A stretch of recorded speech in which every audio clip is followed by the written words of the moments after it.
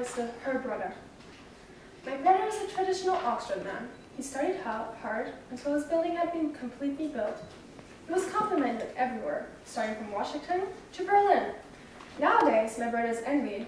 I'm personally proud of my brother. Even now, I can see him in a brown library or a pictured hall, beginning a lecture. And what a good lecturer he is. He starts with answers and ends with problems. His subjects are diverse, but of a certain refinement. His speech is eloquent and tastes like pancakes with maple syrup on top.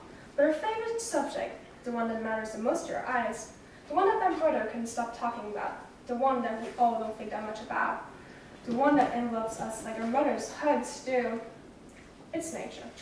Because you have to know, my brother loves the forest and the cloud and sea as if they were brothers. He, was written, he has written so many works on nature, and he has done so many projects already. My brother is even interviewed on TV. He has fans and antagonists. Especially, um, especially now, he is often criticized. Many people think that his goals are unreachable, and that he lives in a fantasy world. Maybe they're right. For now, maybe he hasn't found the right answers, yet.